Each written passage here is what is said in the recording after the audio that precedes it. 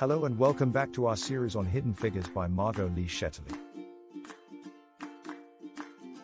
In this video, we will be discussing Chapter 3 Past as Prologue. In this chapter, we see how the experiences and challenges faced by previous generations of African Americans impacted the lives of the women at Langley. Let's dive in. The chapter begins with a historical background on the experiences of African Americans during the early 20th century. Jim Crow laws enforced racial segregation, creating a system of inequality that affected all aspects of life, including education and employment opportunities. Despite the limitations imposed by segregation, African American communities created their own schools and educational opportunities. One such school was the West Virginia Colored Institute where Katherine Johnson and her siblings attended. The school provided a strong foundation for Katherine's mathematical abilities setting the stage for her future career at Langley.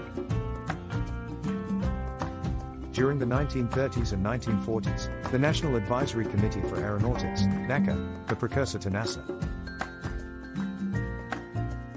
began hiring African Americans as computers individuals responsible for performing complex calculations.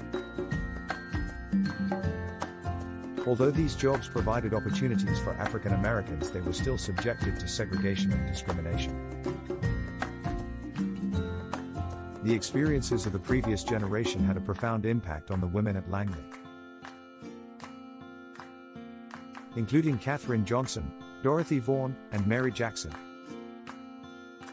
Despite facing similar obstacles, they refused to be limited by their circumstances and pursued their passions in the field of mathematics and science.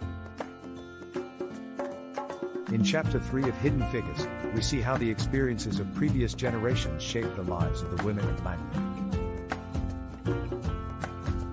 Despite facing significant challenges due to the prevailing racial segregation laws,